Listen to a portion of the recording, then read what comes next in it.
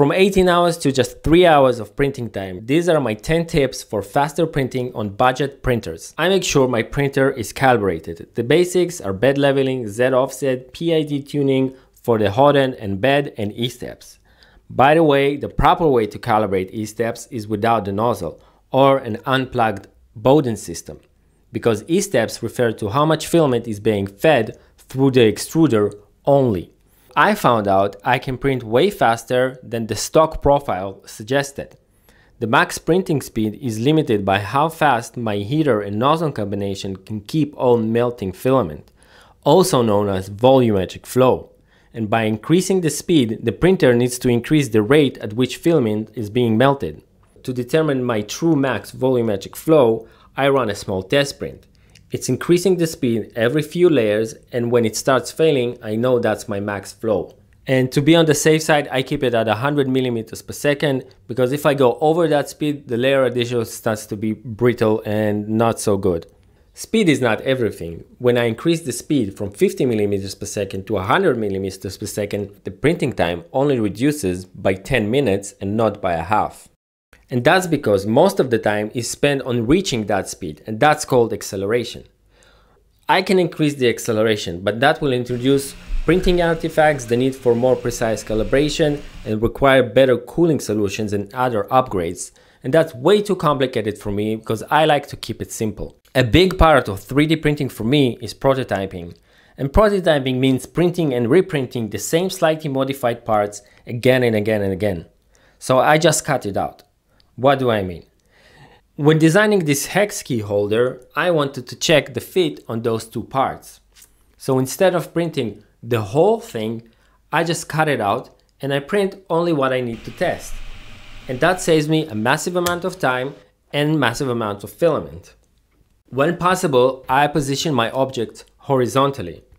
Now this is the same rectangular box and it prints two times faster when it's printed horizontally. In general, less layers means less printing time. When printing out this foam cutter, I saw that the top layers will be unnecessary. So I disabled them in the slicer, I saved a few minutes of print time and, and a little bit of filament. I saved the most amount of time by avoiding print failures. Of course, it's impossible to predict things like clogged nozzle or power outage, but there are a few things I can do to avoid my next failure and that's running a small test print. If I'm using a feature for the first time, for example, like the color changing command, I want to test it out. Does it really work in real life? I got a new brand of filament. I want to run a small test print. How does it perform on my printer?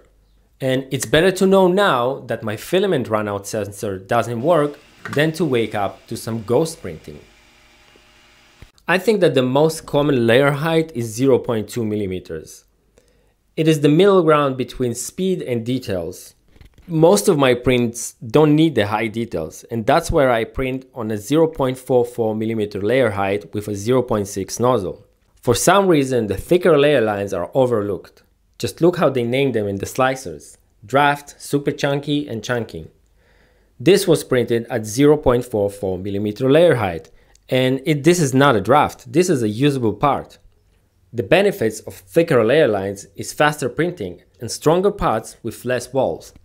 Infill has few roles. It serves as structural support, reinforcing for strength and rigidity, and support for top layers. Now, more infill will make stronger parts, but how strong do I really need them to be?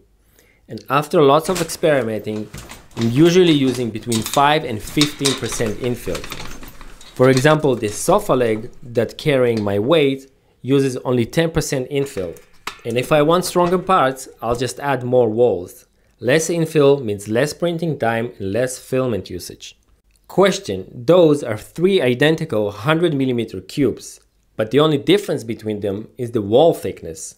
Now which one of those will take the longest time to print? The 2mm wall will be the longest, and this speaks to the designers among us.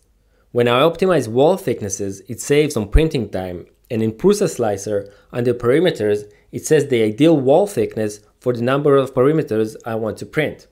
And this is exactly why I chose the 1.22 millimeters and the 2.45. I switched to a 0.6 nozzle a few months ago and I'm never looking back at the 0.4.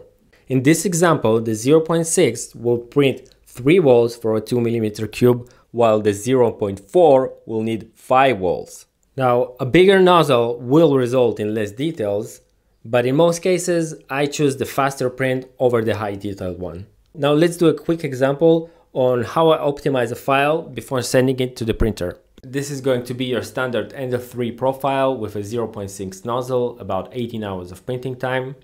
I'm going to start by switching to a 0.6 nozzle, reducing the printing time to about 9 hours. Under layer and perimeters, I'm disabling all the quality settings.